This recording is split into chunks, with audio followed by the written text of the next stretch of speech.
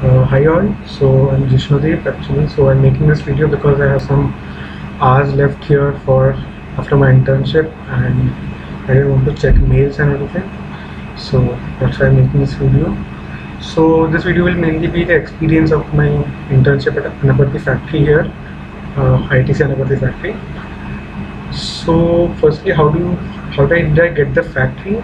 So most of the people will get actually the headquarters, but if you want a factory, you need to actually insist for a factory. So I had actually also told during my interview and also when the chief executive called that I want to know more about the workings of the factory also and plus work on my project.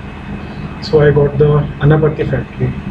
Regarding the location, uh, it's a very remote location. So if you want to hang out on weekends and malls and all, then don't go for a factory, I suppose.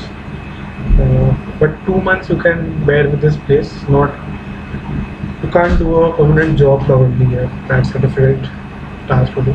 But yeah, coming to the work, uh, my project was basically on Internet of Things at Anaparti factory. So that is basically related to smart industry and connected machines. So I would say uh, your work won't be as core as developing an app and all that. So I don't think even you can call that a core job where you are developing an app.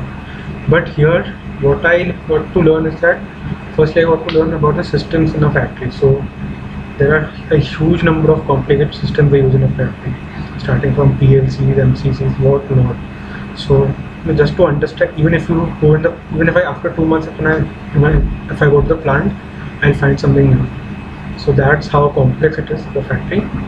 But once you start working on the project, you actually have to interact with people and get to know about many things in the factory, how they work and all that. So that way you will actually get to know how your whatever you learn in college, it's actually implemented on a real, uh, real in the reality. So it's a very complicated system to study the PLCs and all. So regarding my project, basically it's an Internet of Things. So firstly what I had to do is that I had to identify the scope. So where all IoT can be applied, uh, how will it be beneficial to the factory's performance, manufacturing, uh, downtime reduction. These were all the feasibility study I had to do. This included literature survey, then many feasibility survey, talking to people here and all that.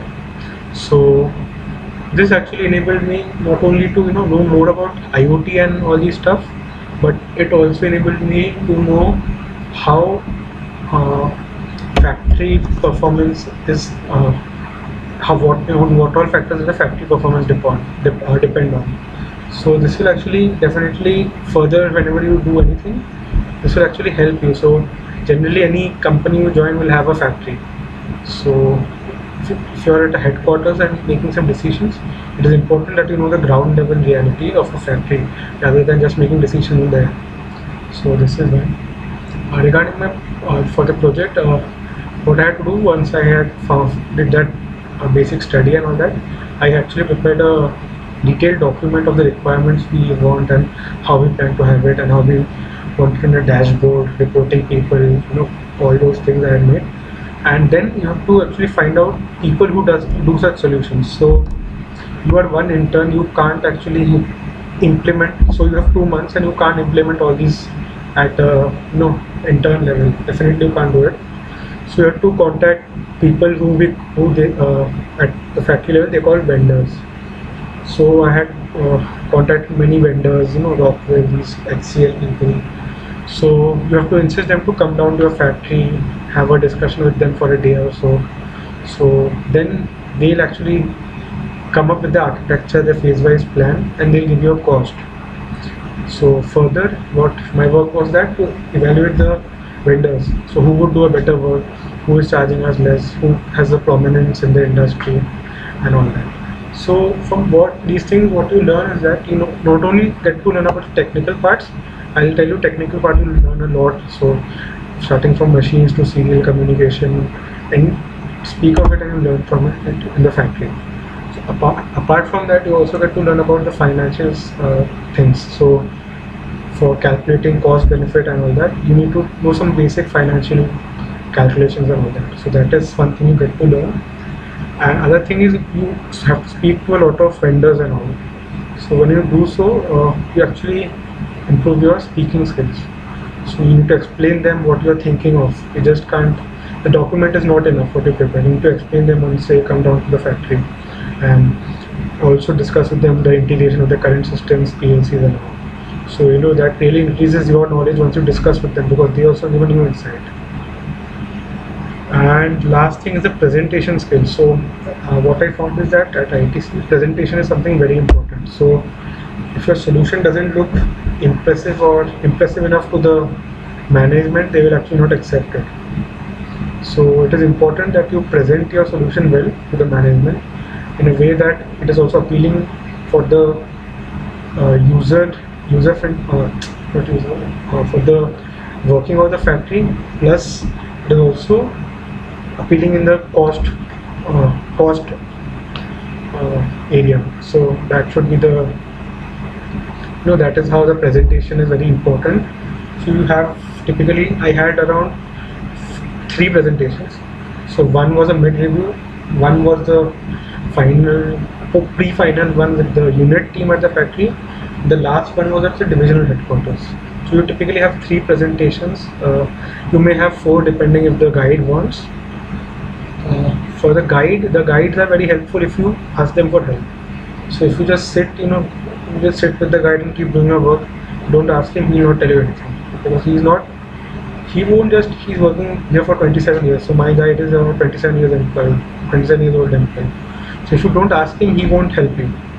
So you need to ask them continuously that you want this you want that and you need this information and all that. So that was a lot of help. So once you start interacting with them then even during evenings when you're playing badminton with them or having dinner they'll share some information and they'll tell you come to my office tomorrow uh, so I'll share you some information. So that is very beneficial. I'll tell you that that contributed to 50% of my project so yeah so you have to definitely interact from your side or uh, with the guide as well as they will ask you things. So that won't happen. And so that is about the internship mainly. And about the overall experience I, for me it was a good enough experience except I didn't like the location very much because it's a remote location. For two months I found it decent but not for a long time definitely not for a long time and uh, yeah I think that's enough. That's it. And but this is mine this is specifically to the my experience related to a factory level internship. I can't really tell about the internships which are related to supply chain or ones which are at the divisional headquarters which is more about researching some solutions.